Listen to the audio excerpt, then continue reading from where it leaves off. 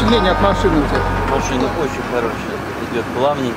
В салоне тепло, что самое главное в эту суровую зиму. В салоне просто как в квартире. В квартире бывает Как рулится, как управляется? одним пальцем.